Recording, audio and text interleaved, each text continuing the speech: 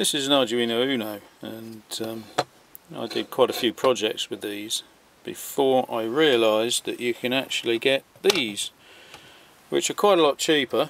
This is a blue pill so this has got an ARM processor on it instead of an AT Mega and um, it's considerably faster it's got more GPIOs it's got more RAM it's got more flash it's um, got for me a better programming method which is um, using an ST-Link dongle which is attached here with the SWD um, programming.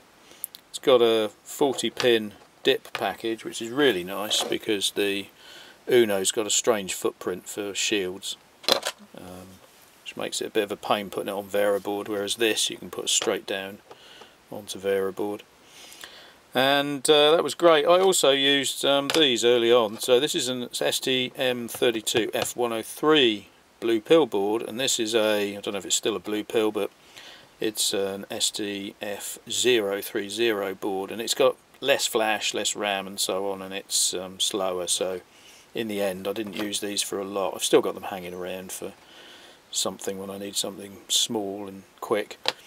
But I tended to use these quite a lot. Some of them have 128k of flash, but all the ones that I bought have only got 64k, so I was unlucky there. Now, that's fine, and um, I did start taking the chip off and putting the chip directly onto um, PCBs rather than using a blue pill. That has got pros and cons. Obviously, if you blow up the blue pill, it's a lot easier cutting this off and putting another one on than it is desoldering that chip, at least if you haven't got a hot air gun. Um, but for me, I do have a hot air gun, and I've actually, because I've had supply problems with these chips, I've actually taken these chips off these boards and put them on my own PCBs because I can't get hold of the chips anymore. The lead time for these um, chips is now um, up around a year, so they're basically just unobtainable at the moment. The blue pills, I haven't bought any recently mainly used chips on a lot of the recent projects I've done but um, I assume they're getting harder to, to get hold of as well. But anyway, turns out recently I found out about this. Now this is a um, Raspberry Pi Pico and you can see it's same sort of form factor, there's a definite similarity there. Again it's 40 pin pin out although unfortunately I found that the three pins down here which is the programming connections just like it is on the blue pill aren't actually lined up on a 0.1 inch grid which is a bit of a pain if you want to put it on Veroboard or something with a 0.1 inch pitch but you can sort of jiggle things around and manage to do it. But um, yeah a bit of a shame that. But anyway um, this a lot more flash there's 2 mega flash in an external uh, SPI device. So that's um, different to the STM32 the flash there is in the chip. Here it's external so you can change it to whatever you want really. Um, downside the package of the chip not quite as nice to solder. It's um, not a quad flat pack it's some sort of QFN package with no legs so you've got to get in there and solder underneath it or use hot air or something. I did buy some ICs as well so I've got some ICs if I want to put those down but uh, they are a bit of a pain to, to solder and this uh, module is designed, it's got castellated pins on the outside, it's designed that you can solder it flat on the board. You wouldn't need headers so uh, that's a bit different to the uh, blue pill. It's not really designed to be soldered into a PCB as a module whereas the uh, Pico is. It's got a lot more RAM as well. This has got 20k of RAM and this has got something like 235k of RAM which is a lot more. It's faster. This runs at 72 or maybe 36 meg. It's difficult to tell sometimes.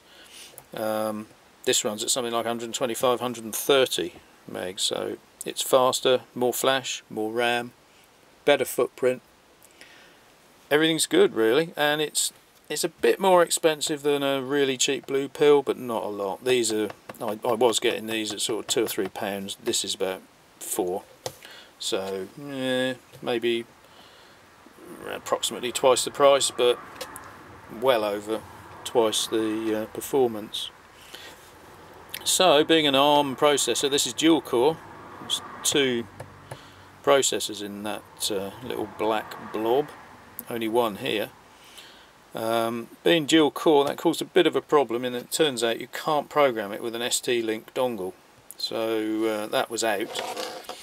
What you can do though is you can actually build a programmer out of a Raspberry Pi Pico so you can make your own dongle obviously for £4 which is sort of about the same as an ST-Link um, programmer.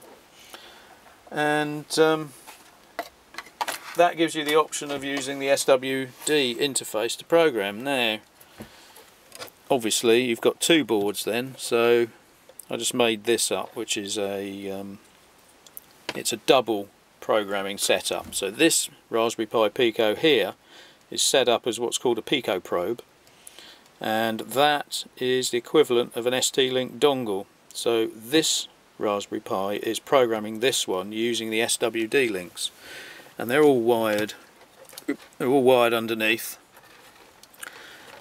so you attach your programming USB here and this is USB for USB to serial coming out of this um, Pico here. And um, at the moment I'm using OpenOCD to program it, so it's a different programmer. It's the uh, STM32 or the ST Cube programmer is what I use with the ST-Link. But with this is OpenOCD using this Pico as the uh, hardware programmer. And um, I'm using for the actual sort of day-to-day -day workflow I'm using Eclipse now Eclipse has got another advantage over well it hasn't actually. You, you, you can use um, debug. You can do source level debug using Eclipse on Blue Pill. I've done that in the past. But I haven't done it with the Arduino IDE so I've used Arduino and um, bare metal on the Blue Pill. And the bare metal is if you do it with Eclipse you end up with um, sort of free source level debug over the SWD. Um, the Arduino IDE you probably can do it but I've never done that and it's not really built in. The nice thing about the Arduino IDE is everything is there. You basically just load it up, plug the Arduino in and it programs. With the Eclipse OCD, Pico and Blue Pill there's a lot more setup involved really. And also on the um, these Raspberry Pi Picos, I'm actually running those using the Raspberry Pi SDK, not, not using the Arduino uh, IDE. Now that's sort of nice in that I get the Eclipse and source level debug built in, but there's a lot more setup and there seem to be a lot less uh, libraries. So uh, the advantage with the Arduino IDE, and you can run that apparently, I haven't done it yet, I may not do it, I might do it, you can run the Arduino IDE on the uh, Pico, but um, remains to be seen how well that works. i I'll, I might give it a go. But at the moment I'm more interested in just using the bare metal stuff and uh, what I've got here is just a simple test program which is flashing a couple of LEDs down here. These, I mean one of them's flashing the same as the built-in LED but it's actually a different GPIO and um, this is just to get something up and running. And one of the peripherals that I use quite a lot of these small OLED displays. And it turns out that um, on the uh, Arduino IDE you can just go and get a library. There's quite a few of them that drive these things and you just drive it and everything's fine. This one I've had to effectively write from scratch because I couldn't find one for the Pico. Not an easy one that was easy to install. But it turns out that I've got an old project which used an ARM chip um, and that's the um, sort of digital DRO that I did. Um, it's on GitHub and part of that is an I2C and an OLED couple of functions that drive the OLED display over I2C. So I just ported that over, just copied it over basically and um, set up that the DRO can run um, I think it runs something like six or eight I squared C buses because it's got three of these displays and three uh, sensor uh, processors that it talks to. So I just took that bit out and it's now just talking over a couple of GPIOs. So this is bit banged. It's not using uh, the hardware I squared C. You could do if you wanted to, but it's quicker just to bit bang it. And uh, it's working. And uh, I mean that's one of my main peripherals. The other one's SD card, which I haven't got working at the moment. There is a library for the Pico for that, but unfortunately the pinout was different to what I've got here and it didn't work, so I need to do some fiddling around to try and get that working. At the moment it looks quite good. The um, fact that you can solder this down onto the board and the fact that the footprint's a little bit iffy means that I may actually put Picos on where I can rather than uh, using the chip. With the blue pill it's, it's just a bigger package and um, I just started putting chips down because they're smaller and neater and there's a lot of things I don't need on here. I don't need the jumpers. Um, don't need two crystals. If I haven't got a real-time clock and the real-time clock isn't the one in here, that's not the one I'd use because it doesn't have doesn't have hardware calendar registers on this particular device. I think there's a hardware real-time clock in the um, RP2040, which is the uh, the chip that the Pico uses. Now that's the clever part. The uh, RP2040, or whatever it's called. It's um, it's basically very similar to the STM32 um, 103, but the thing that I was quite interested in at first was the fact that it's got uh, these programmable GPIOs. So there's bits of hardware, four of them hanging off the GPIOs that let you drive the GPIOs without any firmware well at least not any ARM firmware intervention and um, I was thinking that might be useful for interfacing to uh, displays or calculator buses and things like that to see if we can operate at higher frequencies without having to go to an FPGA. I'm not sure how well that's going to work but uh, things like the uh, Casio 502P interface that I did might have been um, if not easier um, able to operate at faster speeds using uh, that sort of hardware assist rather than doing the whole thing in firmware which is what I did. And it was I think the processor was just about fast enough to do that. So uh, that's something I'm looking forward to having a go with on uh, some projects anyway.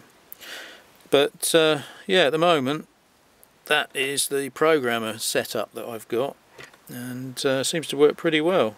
I might build a PCB because this is a little bit a little bit delicate in that you've got all these wires and things so uh, I might PCB up the double Pico setup. So you've got a, a programming um, socket and then another Pico which is the, uh, the programmer because uh, yeah this will probably fall apart at some point. And then you could have any number of these you could have four, you just have four PCBs rather than doing a double one. I'd probably just do a single. Maybe with some breakout stuff, some buttons and a display SD card. Once that's on there, I mean that's useful for quite a few projects really. Might be the wrong form factor, but the, the circuitry would be there. So I might might do that. But yeah, at the moment that seems to be my way out of Chipageddon because these seem to be the chips. They've started to become available and um, the Picos I managed to buy three of those and quite a few of these chips so no problem at all with that. I think they're so new they just haven't been built into sort of everything on the planet and um, means at the moment anyway you can still buy them